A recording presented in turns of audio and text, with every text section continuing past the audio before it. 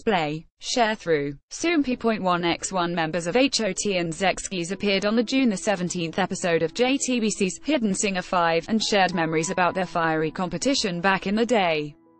See also, Yang Hyun-suk shares plans for new track from SECHSKIES The episode revolved around participants who sound like HOT's main vocalist Kangta. His member Tony Yeon was a panel member, as well as Yoon Ji-won and Kang Sung-hoon from Zexkis. Soompi. Display, News. English .300x250, BTF Soompi. Mobile. English .300x250, ATF The two groups showed their confidence in recognizing Kangta's voice.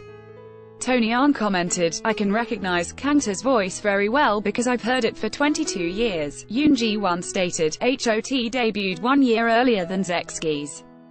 That's why I heard Kangta's voice many times while practicing before I debuted. I can even recognize Kangta just by hearing his breathing. When HOT's song, Light, played, Kang Sung-hoon revealed, this was when HOT and SECHSKIES promoted at the same time. HOT came out with Light, and SECHSKIES came out with Couple, Kangta remarked. The two songs competed for first place in a music program, and SECHSKIES took first place. It was a song I had written, so I remember feeling guilty because I thought it was my fault. The two groups might have been rivals back in the day, but now, they have naturally become friends. Kangta shared, after some time passed by, I went to karaoke with Kang Sung-hoon.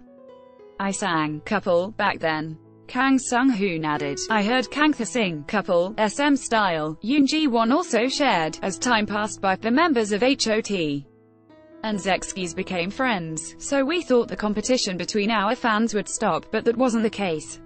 Even nowadays, there are some people who purposely introduce themselves to me by saying, I was HOT's fan back then. Tony Yeon added, I even live with SECHSKIES's Kim Jae Duck, you know. So there are some fans who ask me to deliver gifts to him. Source 1.